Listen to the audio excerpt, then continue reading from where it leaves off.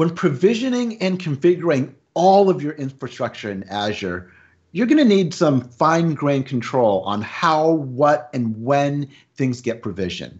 So join me and Frank Boucher when we dive in deep on controlling your deployments using ARM templates next time on the DevOps Lab.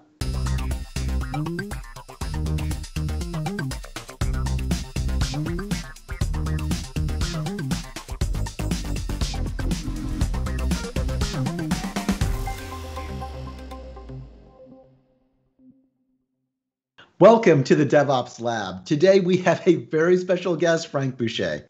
We're going to be covering ARM templates, and Frank's going to be showing us how we can control our deployments with ARM templates. So, how's it going, Frank?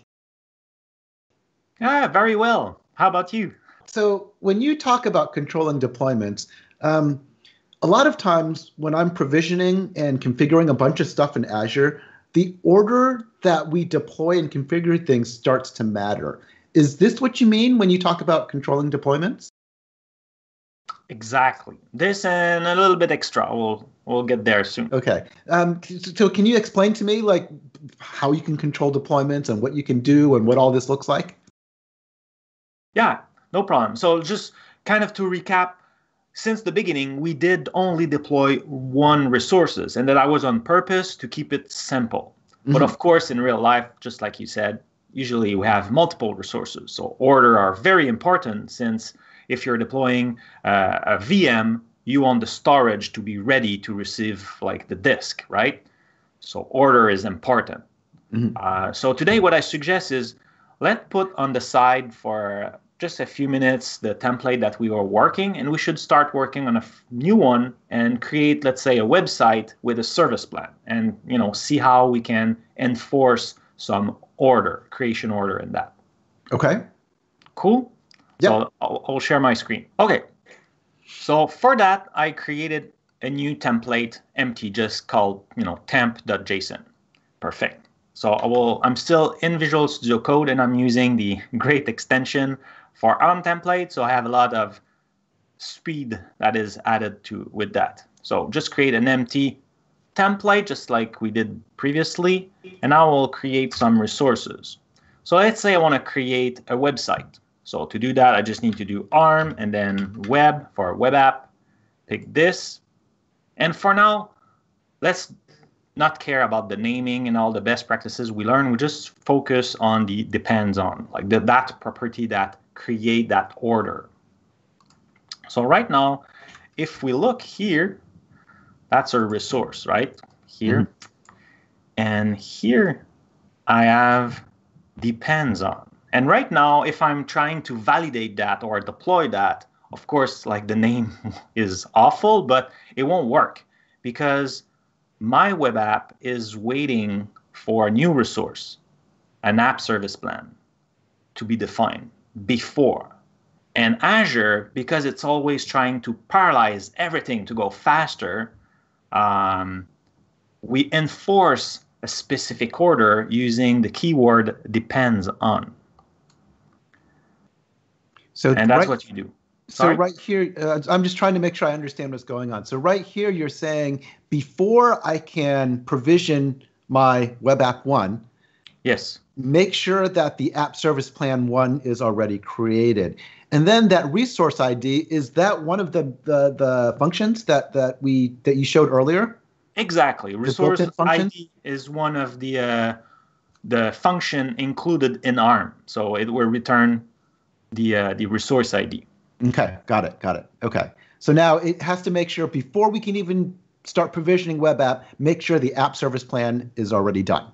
Exactly, and we could stack them. You see here, it's an array. So right now I only have one dependency, but mm-hmm. I could add more if I need to or if I want to. Okay. So let's fix our bug. We'll add a service plan. So to do that again, it's very simple. With the extension, I just do arm dash plan, and right away, oh nice, I have my service plan created. And this one doesn't have any dependency, but now See now it's matching. Of course, in a real scenario, I will give it a name that matters and stuff like that.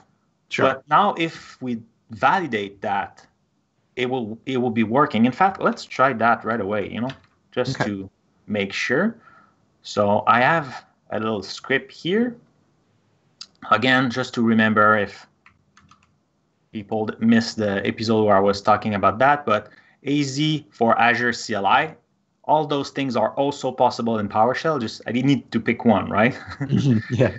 So I'm doing a group deployment and I will be validating. So I'm not deploying anything. It's just it testing lo- it tests locally if the names are correct, if the I'm respecting the schema, if uh, like all those things.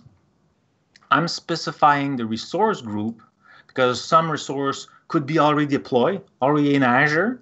So I need to check. So the validation will also do that. The resource group I just created before with the, the command before. Mm-hmm. And then I pass the temp JSON document we just created and I it's saved, right? Let's control S a few times. Cool. Now if I'm running this, it should take only a few seconds and I have error null, null meaning everything is good. Cool. Usually when it's very long, it means everything is good. when it's short, it's probably because you have an error and they go specific on that error. Got it. So that's cool. So it means yes, it's not following the best practices. Like a, uh, the, the name is not. If I'm trying honestly to deploy that, I may find an error where the name is already used and like it's not following the best practices. But now I kind of make sure it will be first the service plan and then the web app, and that very useful in many different scenario. If you're doing VMs, databases, uh, like you know you want the database before the website so you have the connection string to put in the settings mm-hmm. uh, if you have also child so for example in a website i could have um, a sub resource or a child resources um, mm-hmm. that is called if i'm not mistaken um, forgot the, the name uh, source control so i've typed source control and mm-hmm. it's very useful when you want to do a synchronization between for example, GitHub and Git of your app service in Azure. So the mm-hmm. code is also, you know, pump in your application. Mm-hmm. So you could have a resource like that. And of course, before adding a child, you need a parent to be there. So you could this way add also um, that depends on. So it's very, very, very useful. You will see that in all in all ARM templates. Very useful. So what if for example, in this scenario, if we come back to our, uh, our template that we have, uh, where we deploy uh, our storage, we could want to deploy a website all the time and deploy a storage, but only when, remember, just to recap, here we had an environment variables and we had different settings depending on if you are in dev and prod.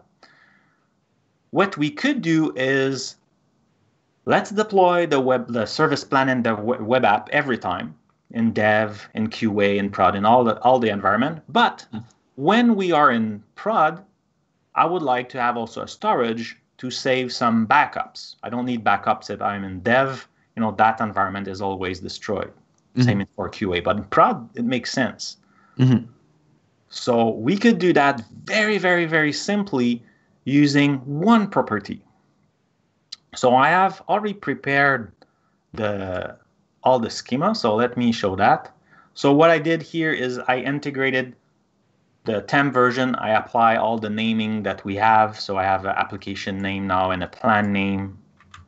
I created variable. So I apply all the good standard that we learn and practice during the past tutorial. I mm-hmm. apply all those. I did create a QA environment also. Okay. So just you know, so QA could have still like premium uh, storage because mm-hmm. you know we want to be closer to the prod, but we still don't need backup in QA. Mm-hmm. So what I did is, if I'm I'm scrolling slowly, I'm going to the our storage. So this is here. Let me zoom. So that's here. That's our storage. Mm-hmm. And here, what I just did, it's very, very simple. I just use the property condition and then using all the equi- um, uh, what's the, the good word? Equity? Comparison. Comparison var- yeah. uh, functions. Mm-hmm. comparison functions. This is really hard. I'm sorry. It's okay. Um, i use equal and i say when the parameter environment is uh-huh. equal to prod uh-huh. then the condition will be true. So this resources will be deployed. Otherwise it will just be ignored. So this is like an if statement, right? So if it's prod, then do this chunk of code. Exactly. And it, like you could put that to any resources. So, yep, it is exactly that. Just a simple con- and I use a very simple condition conditioning, but obviously you could use something way more complex. Mm-hmm. But, you know, I think this is a very uh, probable scenario where in prod you want to do something different. Wow, Frank, that was awesome stuff. You just showed us a lot of power. I mean, first you showed us depends on, right? Where one thing can depend on another. So one resource will depend on another. Basically, you're telling me how I can deploy things in a certain order. And that's really, really useful. You also showed the ability to have conditionals. So if some condition is met, then go ahead and deploy this resource. Otherwise, don't do anything at all. So again, so much power that you can have inside of ARM templates. It really is a language, not just JSON.